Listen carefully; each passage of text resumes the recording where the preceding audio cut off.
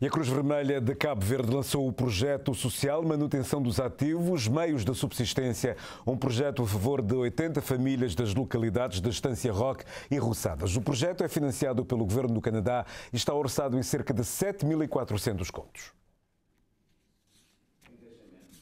A pecuária e a agricultura são duas atividades rurais que garantem os meios de subsistência da maior parte das famílias do município de Santa Catarina do Fogo.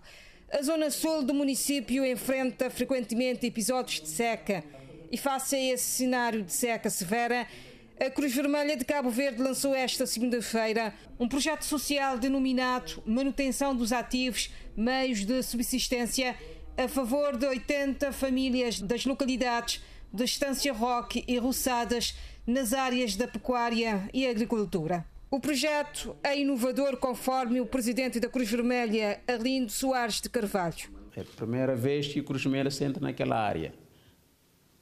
Apoia agricultores e apoia criadores de gado.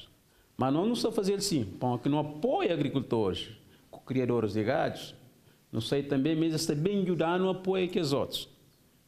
E resolve o problema dessa comunidade. No projeto está orçado em cerca de 7.400 contos.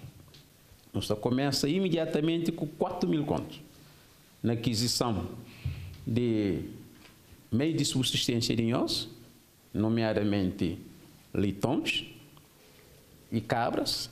Na agricultura, a mesma coisa. Nós também apoia no sistema de rega gota a gota. Tem duas famílias lá que também recebem tanto apoio para a estufa. No ato do lançamento do projeto, a Cruz Vermelha de Cabo Verde assinou um protocolo tripartito com as instituições envolvidas no projeto, nomeadamente a delegação do Ministério da Agricultura e Ambiente e Câmara Municipal de Santa Catarina do Fogo. A delegação também entra ali com assistência técnica, nessa fase já formação para capacitar-nos nas melhores práticas uh, de dia a dia na nossa criação de quer de animais, mas também no nosso espaço de, de exploração agrícola. Não estou que junto que essa assinatura que não faz ali é que apenas um ato formal, mas é um momento que também desencadeia um forte trabalho no terreno. Nos próximos tempos, por onde é resultado desse trabalho e sem impacto na vida da pessoa.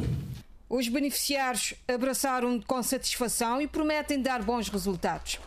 A minha opinião já assinam um, um documento de responsabilidade ali, que espera, mas se um alguém dado do litom, e que litom é que está comer e pedra, e, e que comer e ração, com ideia é possível que ele engrandecer, ele chão algum resultado. O projeto conta com o financiamento do governo do Canadá.